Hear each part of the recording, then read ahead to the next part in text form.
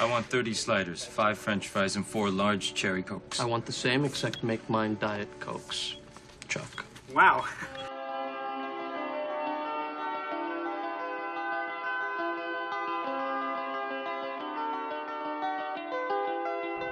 And that hit the spot. Hey, what's up, guys? Welcome back to Binging with Babish, where this week we're taking a look at one of the most culinarily cathartic scenes in all of cinema. I'm speaking, of course, about the stony climax at the end of Harold and Kumar Go to White Castle. I have here a frozen White Castle burger as a control group. It is mysteriously missing its signature single pickle chip, but it does have the characteristic five holes punched in the patty. Legend says that this is to save beef and money. White Castle says it's so the patties cook quicker and absorb more onion vapors. We shall see. First things first, we gotta make ourselves some patties. I've got a bunch of ground beef here that I'm going to beat to a more paste-like consistency, so the burgers end up having a very tight texture. The patties I pulled off the frozen burgers weighed about 0.7 ounces, and since burgers typically lose about 25% of their weight during cooking, I'm going for 1 ounce burgers. To form them, I'm going to coax about 8 ounces of ground beef into a rough rectangle betwixt two sheets of parchment paper. Then I'm going to attach 4mm guides to a dowel rolling pin and roll out the beef into a relatively even rectangle. Then it's time to score it into individual patties. Using the bottom half of one of my slider buns as a sort of template, I'm going to cut six evenly sized square patties just slightly larger than the bun itself to account for shrinkage. Then once all six patties are scored, it's time to punch out the telltale five holes. Using a metal straw, I'm pressing down and twisting until a little nubbin of beef comes out. There we go, one hole punched out, 149 more to go. Once all of your holes are punched, it's time to put this guy into the freezer to firm up while we continue making more patties.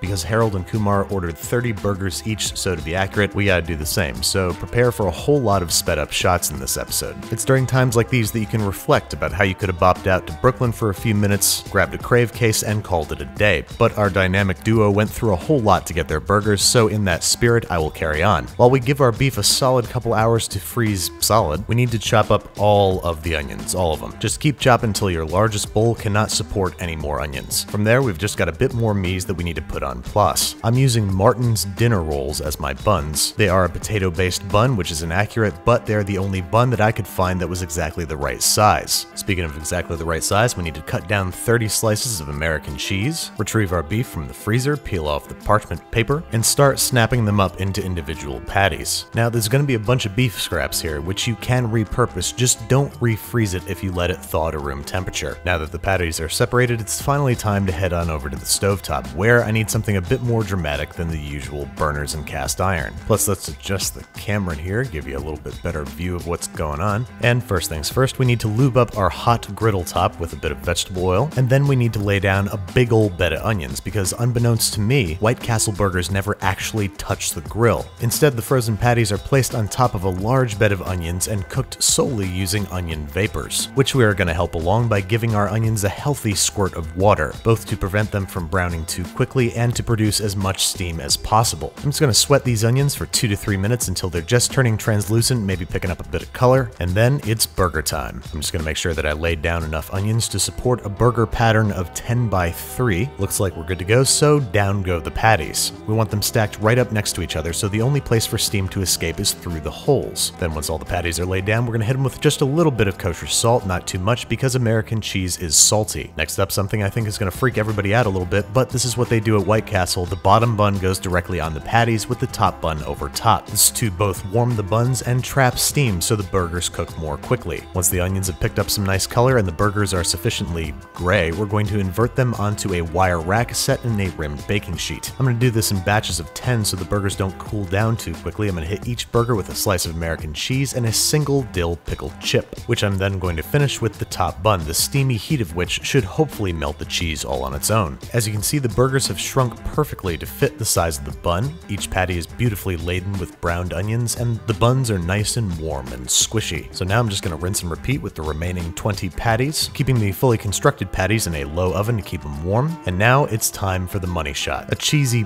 beefy palace erected in honor of one of my favorite comedies from when I was in high school. And there you have it, folks. That's what 30 sliders looks like. I'm just going to take a few off the top here so it's a little bit more structurally sound. Introduce two pounds of of crinkle cut french fries into the situation. I think that's everything. Uh, Wait a minute, no, one more thing. We need Diet Coke and Cherry Coke to be truly accurate. And there we go, one full order from the penultimate chapter of Harold and Kumar Go to White Castle. But how does it taste? Does it taste like the real thing? Does it taste better? And I gotta say, the burger and onion flavors are on point. The only difference, nay, the only improvement, comes from the use of a potato roll. Now, I have to admit, this is a little bit too much for me to eat on my own. So I have a bunch of, let's say, inebriated friends in the other room who are gonna help me make sure that none of this goes to waste. But let's say you don't use appetite enhancing substances and you want to make these burgers in a slightly more reasonable format. To do so, the procedure is very much the same. We're going to prepare the beef the same way, the onions as well, but we're going to cook everything on a cast iron pan. I got my buddy Jamie Wax here helping me out, and we made just enough burgers for the two of us. And last but not least, what about a Babish version? As you might imagine, this is going to start with us grinding our own beef. The fat content of White Castle burgers is very high, so we're going to use chuck and short rib, bones cut out, silver skin trimmed off, and cut into one inch cubes that we're going to place on a parchment lined baking sheet. We're then going to place this whole affair in the freezer for about 15 minutes just until the edges and corners of the beef become very firm. Then we're going to place it into our brand spanking new food processor work bowl, along with a blade that we have also chilled in the freezer for about 15 minutes and pulse until we get a nice pebbly ground beef. Shouldn't take more than 30 seconds worth of pulses as long as your blade is nice and sharp. Then we're going to form the ground beef into 1 inch meatballs because I have every intention of making smash burgers. Over on the cooktop, I am sauteing the onions until they're nice and soft and they got a little bit of color, and then most importantly, I am toasting the buns, which is a way to instantly improve virtually any burger. Next up, I'm taking a page out of my man Alvin Cailan's book and I'm making some cheddar cheese crisps by putting little piles of shredded cheddar down on the cooktop next to the meat, which before smashing, I'm going to season with kosher salt and freshly ground black pepper. And then, like the Hulk says, it's smashing time. That's what he says, right? We are using a dowel to press down hard on the patties and smearing away with the spatula to ensure patty integrity. Then I'm placing dollops of sauteed onions on each of the cheese crisps, followed by the nicely browned burger patties, which we're not going to flip because they're so thin that they're fully cooked. We're just going to stack them in stacks of two and slide them onto our slider rolls. So, are these little smash burgers better than White Castle? No, they're not better, they're just different. There's a lot more texture and crunch, and these are positively stuffed with sauteed onions. Plus, I didn't have to make 30 of them, which is always nice, but they're both members of the Clean Plate Club. Hey folks, I'm very excited to announce that oh, to announce that I have received my first advanced copy of my book. And even more than before, I am super excited and proud to share it with you. This is the Binging with Babish companion cookbook and it features the first 100 recipes from the show. It's got lots of fun facts, beautiful burger models, gorgeous photography, peeks behind the scenes, and an extremely touching foreword by Jon Favreau. You can pre-order your copy at the link in this video's description or go to bingingwithbabish.com slash cookbook and pre-order to get access to exclusive content before the book comes out October 22nd.